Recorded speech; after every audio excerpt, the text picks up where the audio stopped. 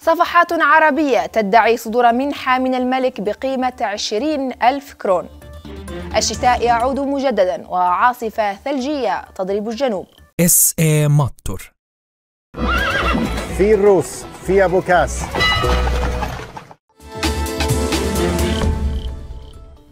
أهلا بكم مشاهدينا إلى نشرة الكومبس معكم هديل إبراهيم. خبراء يدقون ناقوس الخطر بعد أن سجلت أسعار المواد الغذائية أكبر ارتفاع لها على الإطلاق خلال فبراير الماضي. الضغوط المعيشية التي تتعرض لها الأسر توضحت الآن بأرقام أصدرها موقع مات بريس كولن الذي يراقب تطور أسعار الأغذية. مؤسس الموقع أولف مازور قال إن السويد لم تشهد أرقاما بهذا الارتفاع من قبل ومن أكثر المواد التي شهدت زيادة أغذية الأطفال والخضروات والحلويات وارتفعت أسعار البقالة 15.2% خلال عام في حين زادت أسعار الطعام 17.8% وعلى سبيل المثال ارتفعت أسعار أغذية الأطفال في المتوسط بنسبة 10.8%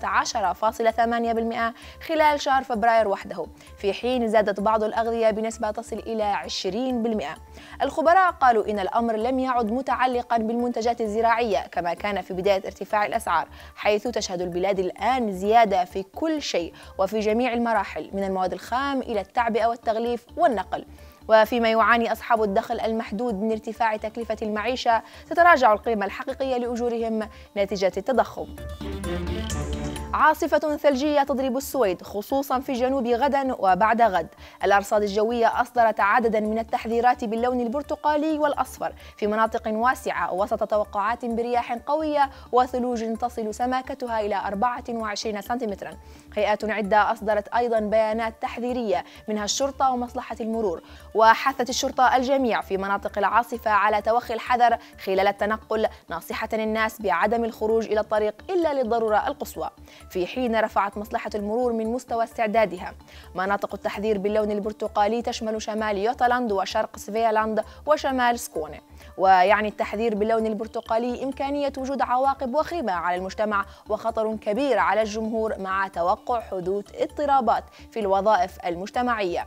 مصلحة المرور عمدت إلى إلغاء بعض رحلات القطار تحسبا للعاصفة مشيرة إلى أن ذلك سيؤثر على عدد كبير من الركاب.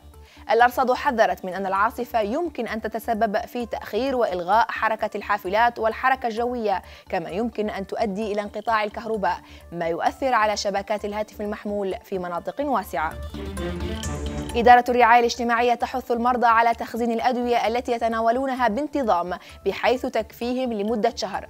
الإدارة قالت إن الهدف من ذلك الحد من مخاطر توقف العلاج حال حدوث اضطراب أو نقص في الأدوية. إضافة إلى تقليل خطر زيادة الضغط على الرعاية الصحية والصيدليات. التعليمات الجديدة تتعلق بأولئك الذين يتناولون أدوية بانتظام مثل مرضى ضغط الدم أو القلب أو السكري.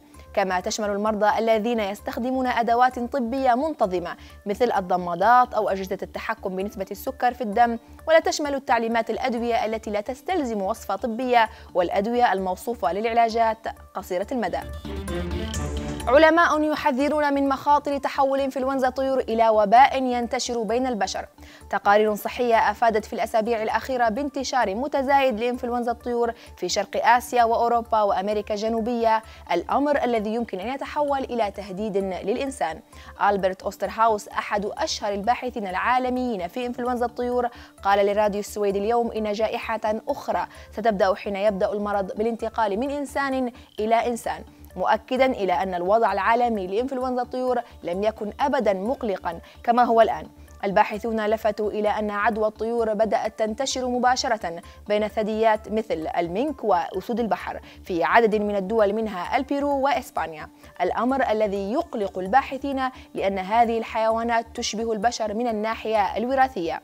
الباحث السويدي بيورن أولسون قال إن هناك خطرا حقيقيا في إمكانية انتقال الفيروس بين البشر داعيا الدول لاتخاذ إجراءات تمنع تحول الفيروس إلى وباء. وطريقة احتيال جديدة تنتشر في السويد تحت اسم منحة ملكية. صفحات فيسبوك معظمها بأسماء عربية استهدفت ذوي الأصول المهاجرة بشكل خاص وأرسلت رسائل تدعي فيها إعلان ملك السويد تقديم منحة مالية بقيمة 20 ألف كرون. لكل مقيم ومواطن موجود في البلاد لمدة ثلاثة أشهر بسبب الظروف الاقتصادية التي يمر بها العالم. وترفق الرسالة برابط للتسجيل على المنحة الملكية ولم تعلن الحكومة السويدية أو الملك إطلاقا عن تقديم أي منح أو مساعدات من هذا القبيل في الفترة الأخيرة. لذلك يجب الحذر والتأكد دائما من مصادر الرسائل التي يمكن أن تكون رسائل احتيال. الهدف منها الحصول على المعلومات الشخصية للأفراد أو اختراق هواتفهم بهدف الابتزاز. وكانت الكومبس نشرت سابقا فيديوهات معلوماتية تساعد في كشف الاحتيال الإلكتروني يمكن الرجوع إليها عبر زيارة موقعنا.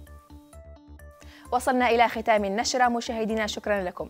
لمزيد من التقارير والتفاصيل زوروا موقعنا الكومبس إس كما يمكنكم أيضا الاستماع إلى النشرة على جميع منصات البودكاست. شكرا لكم. إس إي ماتور في الرز في أبو كاس.